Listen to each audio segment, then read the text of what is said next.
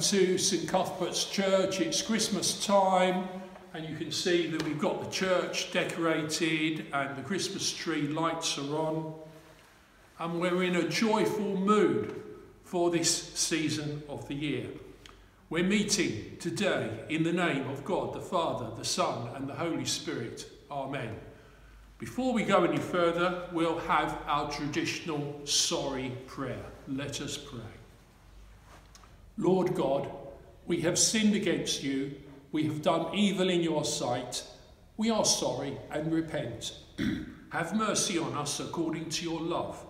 Wash away our wrongdoing and cleanse us from our sin. Renew a right spirit within us and restore us to the joy of your salvation through Jesus Christ our Lord. Amen. And so may the Father of all mercies cleanse us from our sins and restore us in his image to the praise and glory of his name through Jesus Christ our Lord. Amen. Now the focus prayer for today being Christmas. Let us pray.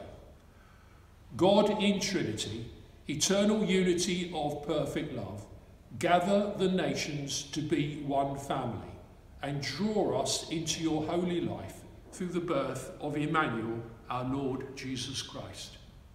Amen. Now, hear the gospel of our Lord Jesus Christ according to John. And I'm reading this from the modern version, the CEV, the Contemporary English Version. In the beginning was the one who is called the Word. The Word was with God and was truly God. From the very beginning, the Word was with God, and with this Word, God created all things. Nothing was made without the Word. Everything that was created received its life from Him, and His life gave light to everyone. The light keeps shining in the dark, and darkness has never put it out. God sent a man named John who came to tell about the light and to lead all people to have faith.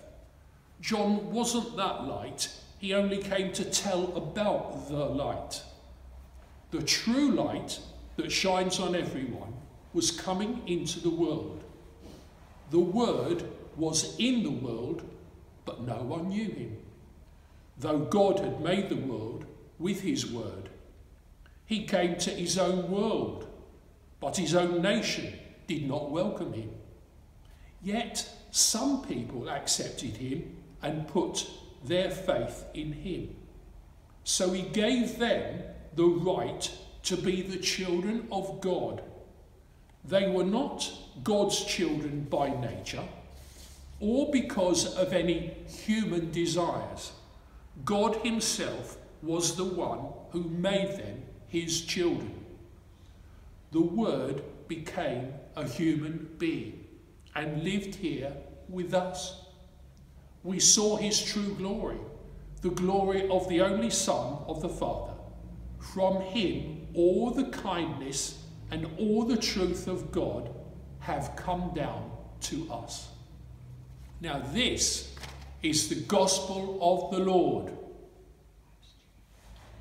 Now, that reading, which we traditionally read at Christmas time, is what's called the prologue to John's Gospel.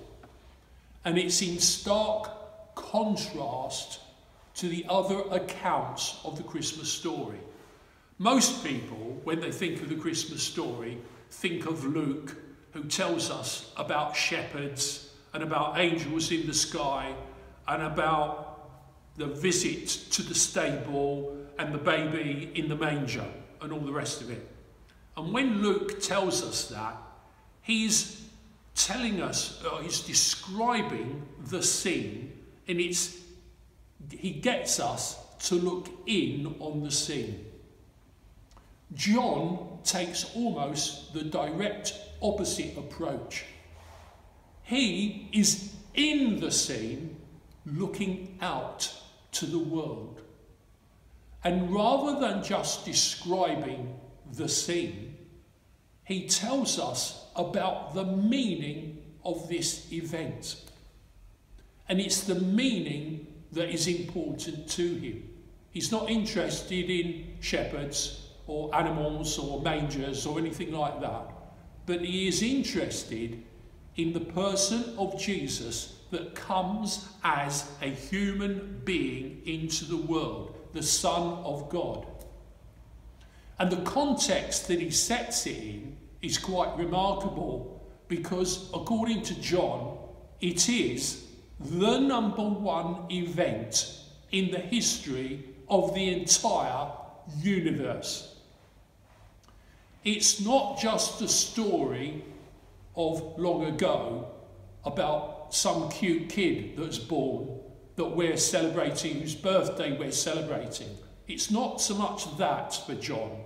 What he's on about is saying this coming of the word into the world is highly significant for you and for me. Because when we look at that baby that's been born, this isn't just some other child. In some special sense, and it's described in poetic terms in this reading, that's us being born. Us, yes, us. That baby is us because we, through the coming of the Word, become the children of God ourselves. We become, we become the children of God, not through our efforts, not through our desires or our wishes, but by the action of God. It's completely God, it's a complete God action here. And we receive that wonderful gift that we become the children of God at Christmas. So it's not just about the birth of Jesus. In a funny kind of way, it's the birth of every single person on earth. It's all our births, all wrapped into one, as we become God's children born into his spirit. It is that powerful. And instead of having to sit in the darkness, instead of having to sit with our frustrations and all our bad feelings, we can be the people that look out and see the light. The light is shining into our dark world and is enlightening us. We, you and I, are enlightened by this process. That's the significance of this moment. And it's, it's one of utter glory, joy, happiness. It's just beyond any description we can make. And perhaps that's why John doesn't actually try and describe it in physical terms, but just makes poetic illusions to the impact upon it. So this Christmas, we are celebrating our salvation. It's all entirely good news. So have a very happy Christmas. Have a joyful Christmas. And even those of you that feel you're in the dark, remember this is a message particularly for you. The light is going to shine into your dark corners and help you. May God bless you this Christmas. Amen.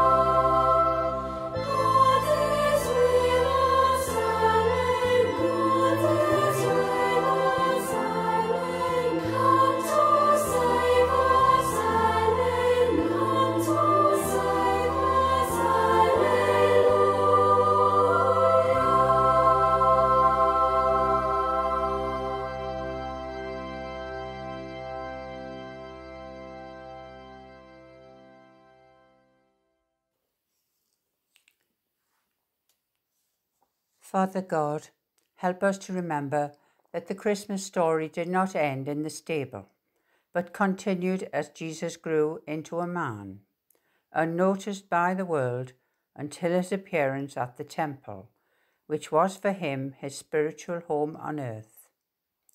As 2021 draws to a close and a new year begins, and with it the next chapter of our lives, Help us to grow in faith and wisdom, and to recognize your presence with us in all we do and say. We share with you our love and concern for people in a dark place today. We have on our hearts the friends and loved ones of the victims of violence and hatred. We pray that they will find your strength in the compassion and love of those around them. We pray for tolerance in our society. We pray for people of every race and in every kind of need. Make your ways known on earth, your saving power among nations. We earnestly pray that the coming year will see an end to the pandemic, militancy, and terrorism, and pray for all who are striving to find a peaceful solution to war torn parts of our world. Father God, we can see in today's story of Jesus the same problems we so often face to follow your call whilst at the same time pleasing our families and friends. Sometimes we can't do both, so help us to live our lives with care and integrity. Most of all, we thank you for your understanding when we make mistakes and ask for your guidance whenever we face a challenge in the year ahead. As we look forward to the year that is ahead, we have faith that God will supply every need of ours according to his riches in glory in Christ Jesus. Amen. And Finally, we come to the Christmas blessing. May the Father, who has loved the eternal Son from before the foundation of the world, shed that love upon you, his children, and the blessing of God Almighty, the Father, the Son, and the Holy Spirit be among you and all those whom you love this day and always. Amen. So go in peace to love and serve the Lord. In the name of Christ. Amen.